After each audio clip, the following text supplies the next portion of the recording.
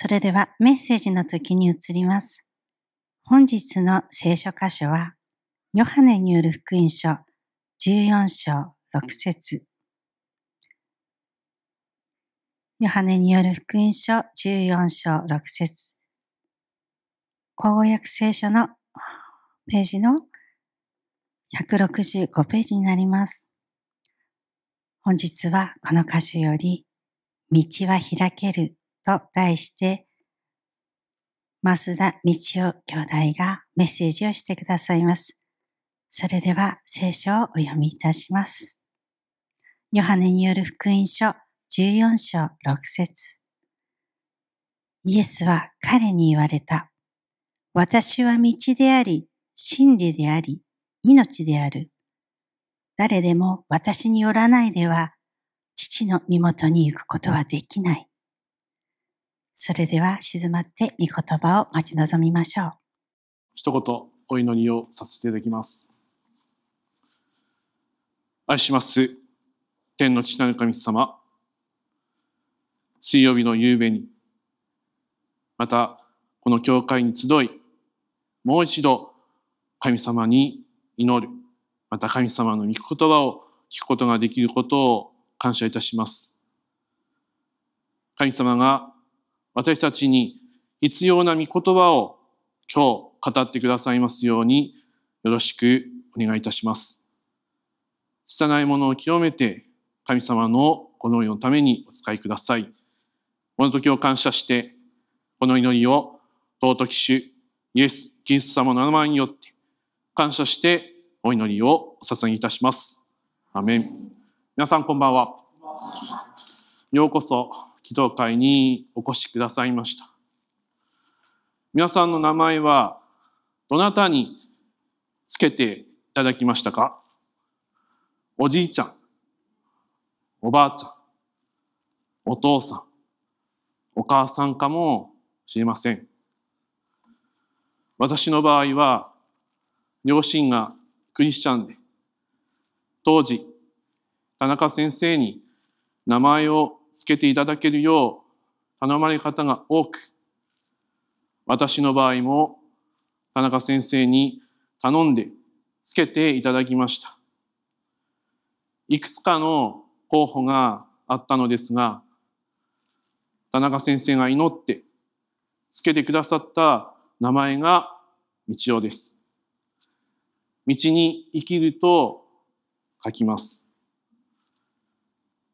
この名前は、田中先生がイエス様の道をまっすぐ歩んでいけるようにとつけてくださった名前です。私の名前も今日読んでいただいた聖書の箇所からつけていただきました。もう一度聖書を読まさせていただきます。ヨハネによる福音書第14章6節新約聖書の165ページになります。それではお読みいたします。イエスは彼に言われた。私は道であり、真理であり、命である。誰でも私によらないでは父の身元に行くことはできない。今日の聖書の箇所は、イエス様が十字架にかかられる前に、最後の晩餐でお弟子さんに語られた言葉です。道とはどういうことなのでしょうか一般に自分が今までで、今まで歩んできた道、自分がこれから歩もうとしている道、新しい門出の道、祝福の道、様々な道があります。ヨハネによる福音書は、私は何々であるという言葉が何度も出てきます。例えば、私は神の子であるとか、私は世の光であるとか多く出てきます。このヨハネによる福音書は、イエス様が神の子であると強調しているところです。ヨハネ第20章30節には、イエスはこの書で書かれていない印を他にも多く弟子たちの前で行われた。しかし、これらのことを書いたのは、あなた方がイエスは神の子、キリストであると信じるためであり、またそう信じてイエスの名によって命を得るためであると書かれています。ヨハネによる福音書第14章は、イエス様がこれからご自身が歩まれる道をご存知で、お弟子さんに最後の晩餐で語られた言葉が書かれています。イエス様が歩もうとされていた道は十字架の道です。イエス様は私たちの罪のために十字架にかかってくださり、三日目によみがえってくださいました。でも、私たちはイエス様が歩まれた十字架の道ではなく、自分勝手な道を歩んでしまいます。自分勝手な道とは、自分の思いや、自分の、自分勝手な考え方や、自分の価値観だけで生きてしまうということです。自分勝手な道を歩んでしまうと、物事を否定的に考えてしまったり、人の言葉に左右されたり、よかならぬ道を選んでしまいます。私たちは、神様が備えてくださっている道とは、真逆の道を歩んでしまいます。それが罪人の姿です。イエス様はご自身が十字架にかかられることをご存知で、お弟子さんたちに私は道であり、真理であり、命であると語られています。お弟子さんの一人にトマスという方がいました。ヨハネによる福音書第14章5節の御言葉で、トマスはイエスに言った。主よ、どこへおいどになるのか私たちにはわかりません。どうしてその道がわかるでしょうと書かれています。トマスも自分がどういう道を歩んでいったらいいのかわかりませんでした。私たちも神様が備えてくださっている道がわからないときはたくさんあります。皆さんが米沢から東京へ行く方法はいくつかあります。一番確実で早く天候に左右されないで行ける方法は JR の新幹線を利用すると思います。この方法で東京に行くためには JR の発行した切符を買わらなければなりません。私たちが天地万物をお作りになった神様の身元に行こうと思うなら神様が決めた方法でしか行くことはできません。神様はご自分の御子をこの世に使わされ、神様によって自分のところに来る道を用意されました。イエス様はご自身が十字架の道を歩まれ、私たちも十字架の道を備えてくださっています。十字架の道は、神様のもとに立ち返り、神様に祈り、神様の言葉を聞き、受け入れ、聞き従っていくことが大切です。聖書を開いてまいりましょう。イザヤ書30章21節の御言葉です。旧約聖書の983ページになります。イザヤ書30章21節です。それではお読みいたします。また、あなたが見に行き、あるいは左に行くとき、その後ろで、これは道だ、これに歩め、という言葉を耳に聞く、という御言葉があります。イエス様は、私たちに神様が語る言葉に聞き従っていくときに、救いの道、希望の道、真実の道を備えてくださっています。私は母親のお腹の中にいる時から教会に来ていました。田中先生、吉子先生、スタッフの方々に可愛がっていただき、教会で育ってきました。毎週日曜日、教会学校に集い、小学生の頃から牧師になることが夢でした。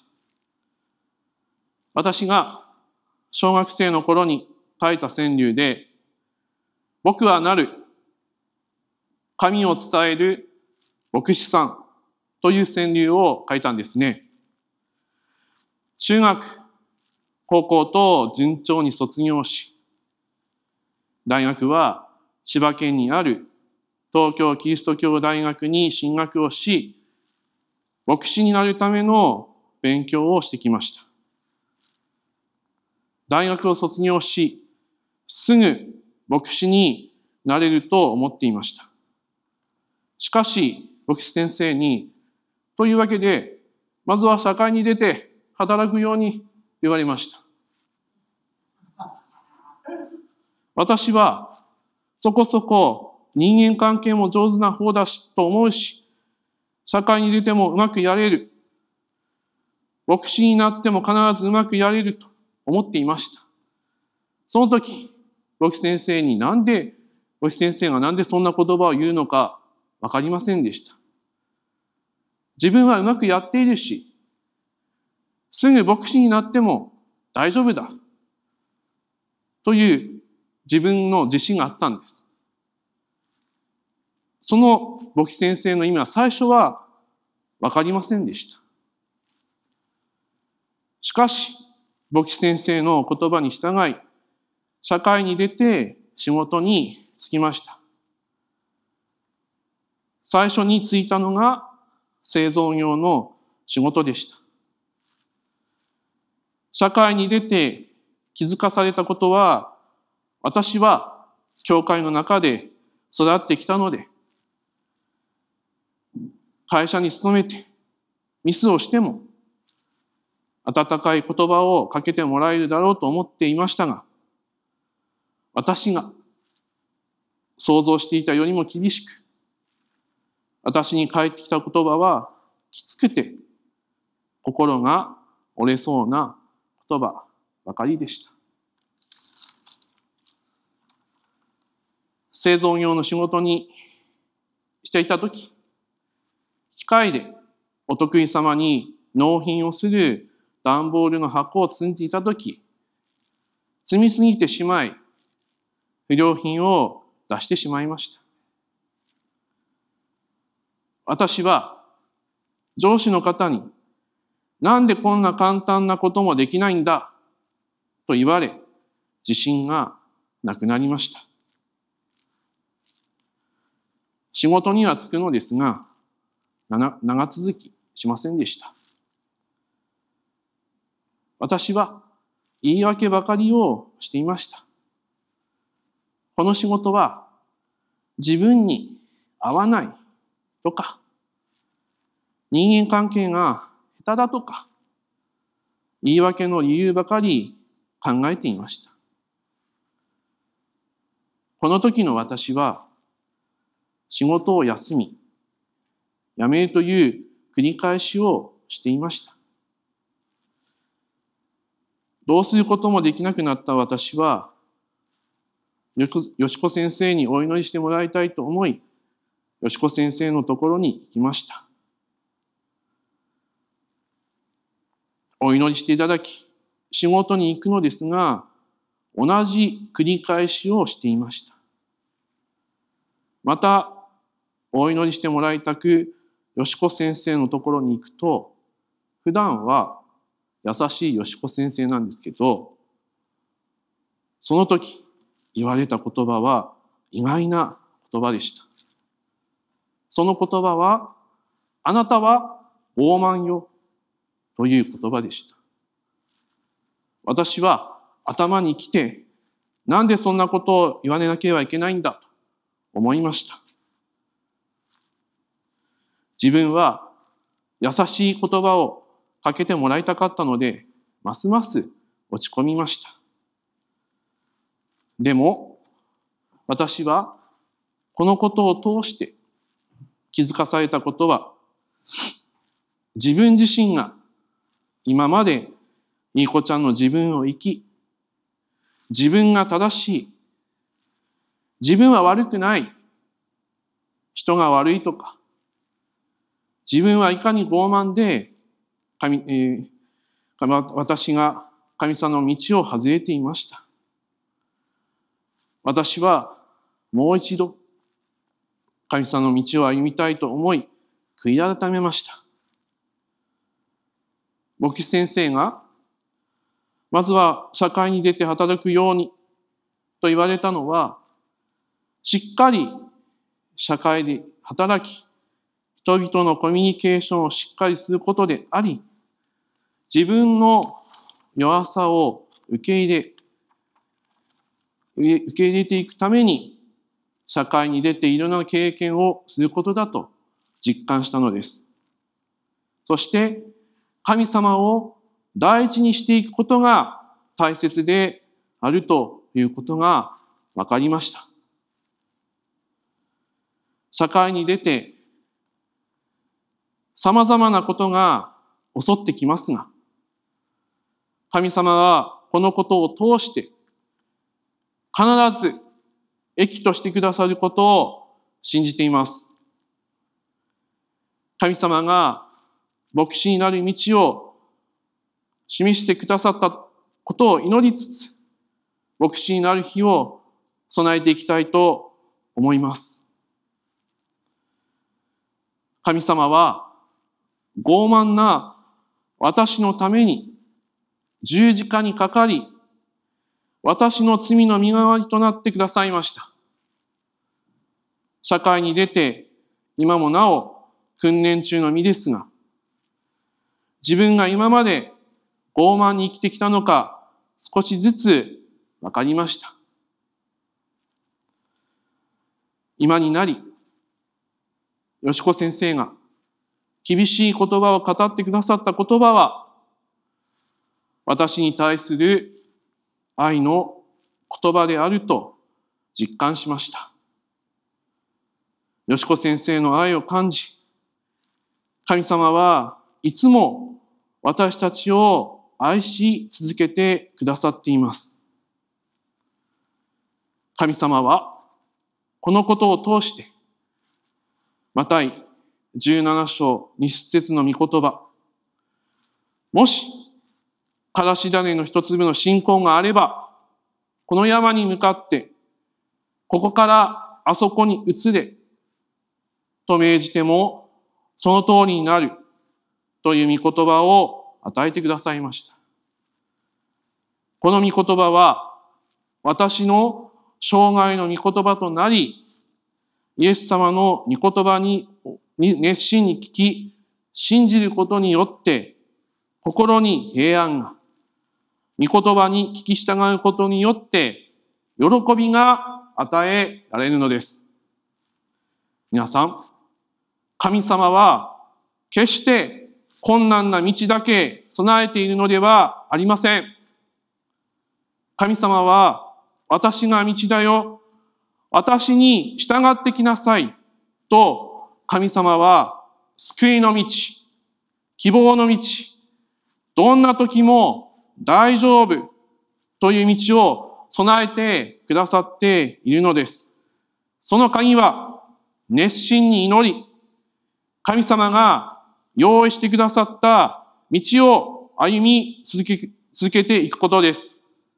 それではお祈りをさせていただきます。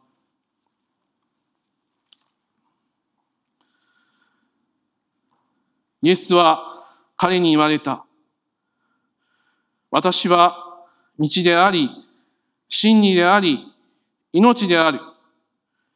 誰でも私によらないでは、父の身元に行くことはできない。愛する天の父なる神様、私たちには様々な道が用意されています。自分勝手な道ではなくて、神様は救いの道、希望の道、どんな時も大丈夫という道を備えてくださっています。その道を私自身、与えられている人生を通して、神様と共に歩んでいくことができますように、神様が導いていてください。よろしくお願いいたします。この祈りを尊き主、イエス、キリスト様のお名前によって感謝してお祈りをお捧げいたします。それでは応答の祈りをしてまいりましょう。